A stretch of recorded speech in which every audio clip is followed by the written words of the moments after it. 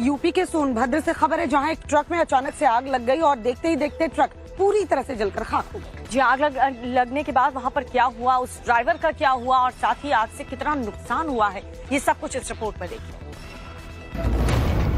UP के सोनभद्र से आग लगने का एक मामला सामने आया है जिसका वीडियो सोशल मीडिया पर वायरल हो रहा है।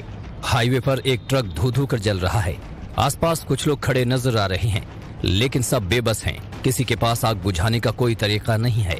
लिहाजा ट्रक देखते ही देखते आग के गोले में तब्दील हो गया। बताया जा रहा है कि ये ट्रक कोयला लेकर एनसीएल खड़िया कोयला खदान से निकला था। रास्ते में अचानक ट्रक के अगले हिस्से में आग लग गई। देखते ही देखते ट्रेलर का केबिन जलकर पूरी तरह से राख हो गया। आग लगने से राहगीरों और आसपास से गुजर रहे वाहन चालकों में हड़कंप मच गया।